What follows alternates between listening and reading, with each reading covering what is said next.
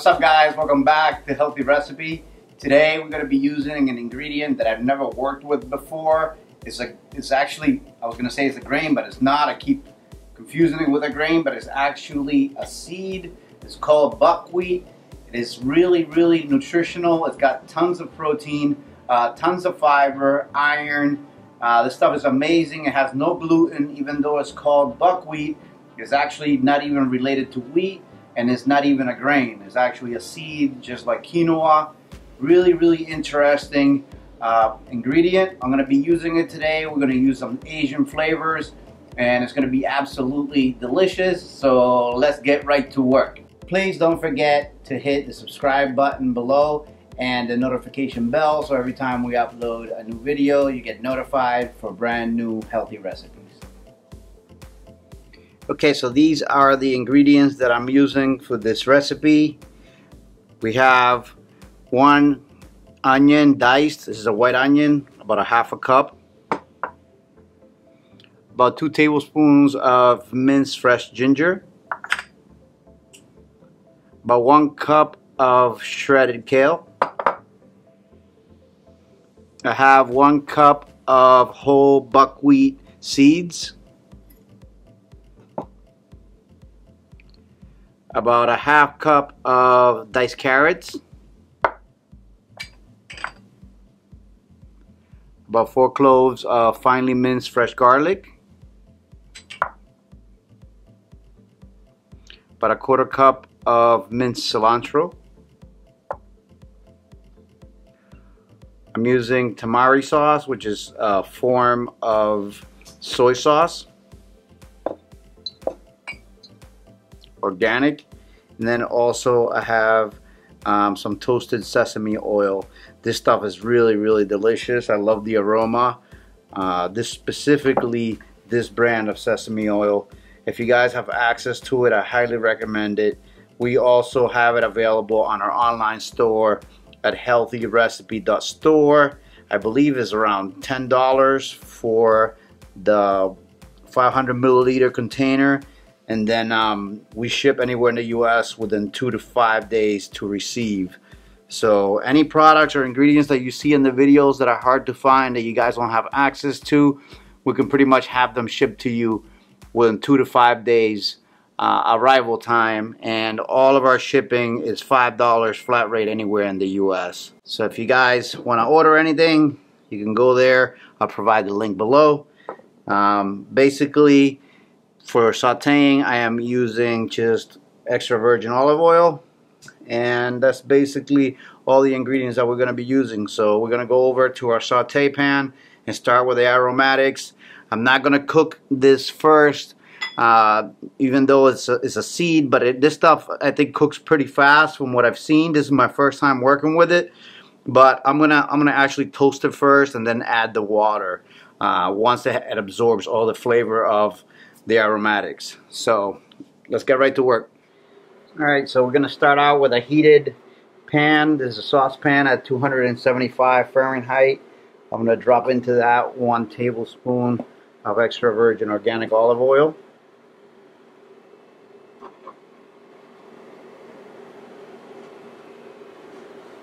And like I was telling you guys, the amazing thing about buckwheat is that it has a ton of protein. Um, it's kind of like quinoa's big brother. Uh, it's a seed just like quinoa. It's not related to wheat, so it's gluten free. Has tons of uh, uh, fiber and all kinds of other nutrients. It has iron. I mean, it's it's a great uh, seed. It's a great thing to eat. And the price is not bad at all either. We have it on our website. We have it organic. We have it in a couple pounds uh, bags that you can order directly from us organic. And uh, ship time two to five days on it. So if you guys can't find it locally, uh, you can order it from us. And you'll see how much one cup of this stuff makes.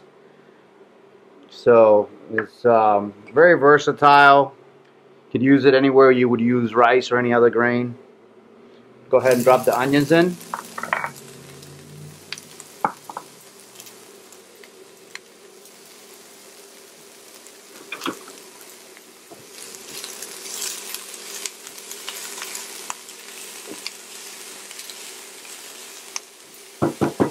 Garlic.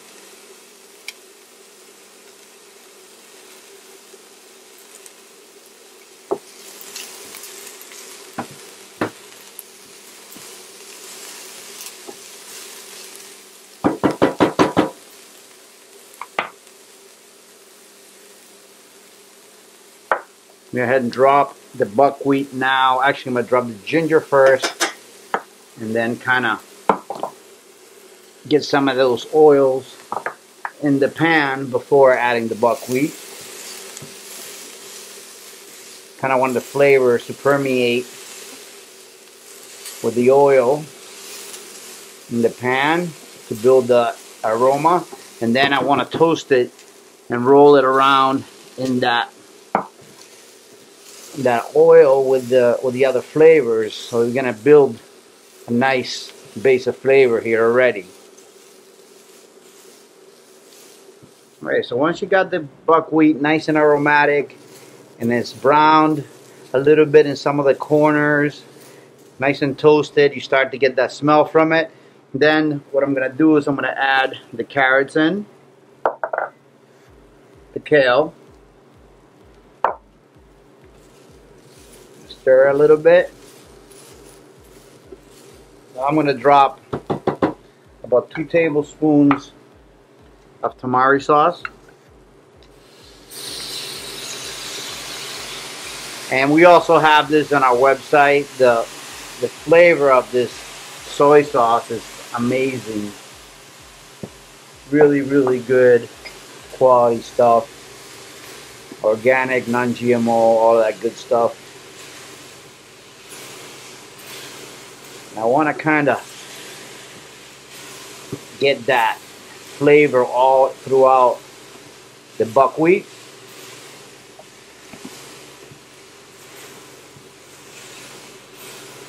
Starting to smell amazing. Okay, so now I'm to go ahead and add my water in.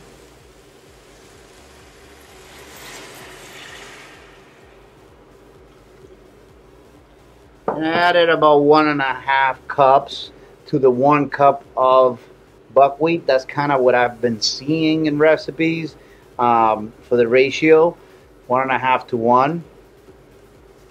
So what's going to happen now is this is going to cook and it's going to absorb a lot of that water. It's going to become kind of like a, a rice or a um, kind of like a wheat berry. So I'm going to add a little bit of chili. This is Thai chili, very hot stuff. Um, just adding a little bit of it for heat. Optional, of course.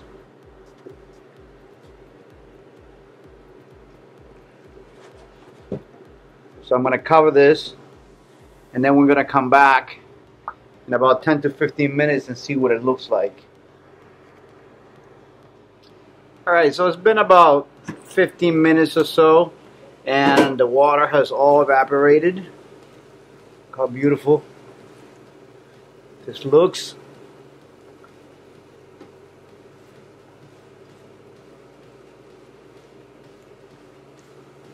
Now what I'm going to do is I'm going to add in our sesame oil. I'm going to do about a tablespoon of it. This is going to add a beautiful toasted sesame flavor. There we go.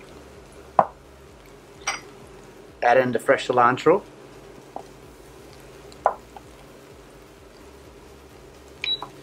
Turn off the heat. Stir that in. And we are ready to serve some beautiful Asian style Asian inspired, Asian flavor inspired buckwheat. Looks really delicious. I'm really excited to try it, so let's get it on our plate. Alright guys, so there it is. Look how beautiful this dish looks. I really love the combination of the Asian flavors here and how good it smells. I have been growing my own microgreens, which are basically just, uh, these are radish sprouts, and I'm going to place them on top here kind of like, um, you know, just as a garnish. These little radish sprouts are super peppery. They actually taste like if you were eating a really strong uh, radish, super flavorful.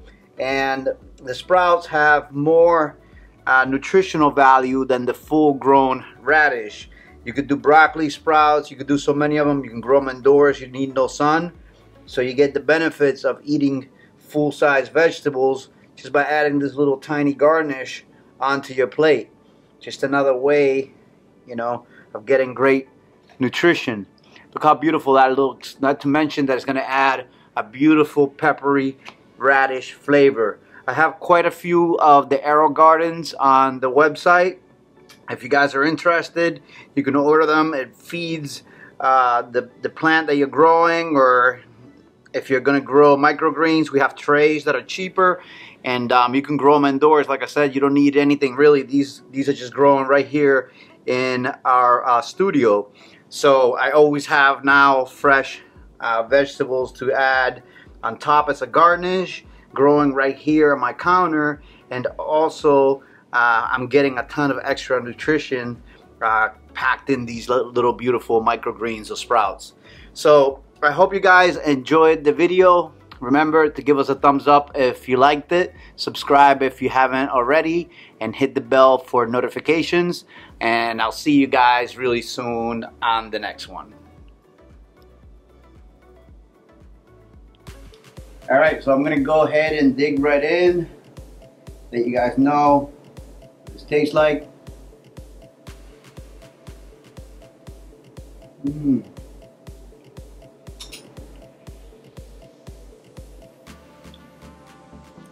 Wow. Mmm.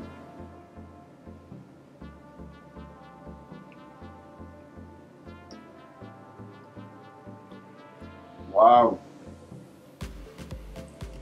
Right off the bat, the first thing that really caught me off guard is the texture. Um, it actually like, it, it's, it's, it feels like it's gonna be crunchy on the outside, but when you bite into it, the whole thing like breaks down. Um, not like quinoa, or quinoa you get kind of like, it's kind of like a little bit tough still. Um, this stuff completely almost like dissolves in your mouth. Um, the flavor is really, really delicious with these Asian uh, accents in it. Mmm. Wow.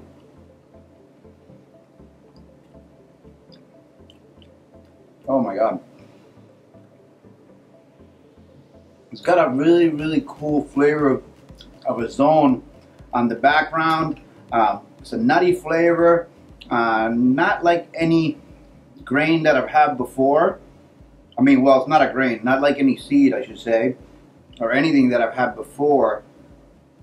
But it's really, really tasty. The microgreens, the radish, bring in the pepperiness and the freshness.